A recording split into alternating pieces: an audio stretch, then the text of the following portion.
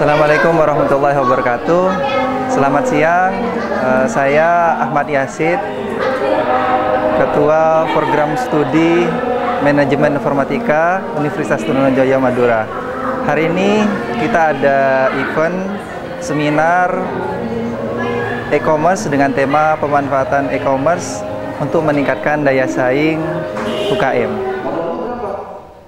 Tidak lebih dari 1 juta. Seingat saya itu 500 ribu.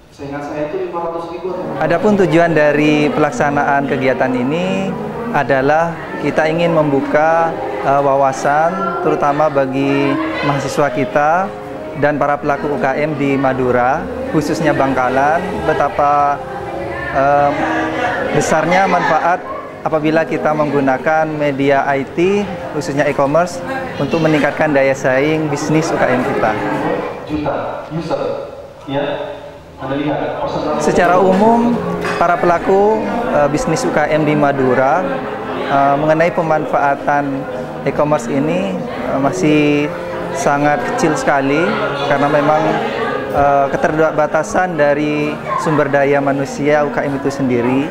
Uh, oleh karena itu, lembaga pendidikan seperti Universitas Trunojoyo Madura uh, haruslah memberikan kesempatan, uh, memberikan wawasan sehingga para para pelaku bisnis ini dapat uh, mengembangkan pangsa pasar bisnisnya menjadi lebih luas lagi. lebih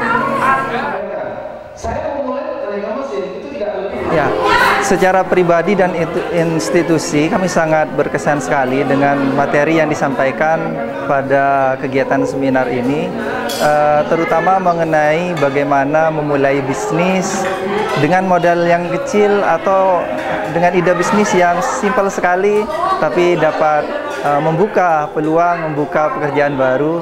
Oleh karena itu, eh, ke depannya momen atau event seperti ini perlu untuk ditingkatkan dan mungkin perlu akan mengundang uh, UKM yang lebih banyak lagi sehingga uh, UKM di Madura bisa berkembang lebih baik lagi.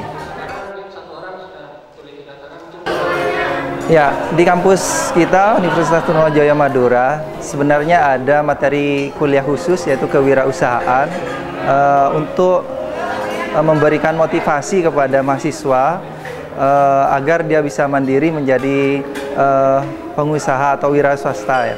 Uh, di samping itu juga kita ada pengabdian dengan masyarakat terutama dengan pelaku UKM.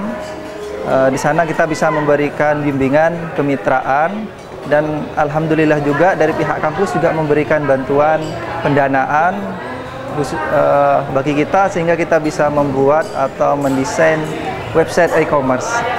Eh, di samping itu kita juga dalam proses pembuatannya ini juga bekerja sama dengan fakultas-fakultas yang lain seperti fakultas eh, ekonomi, kemudian dari eh, fakultas eh, seperti fakultas pertanian atau fakultas hukum.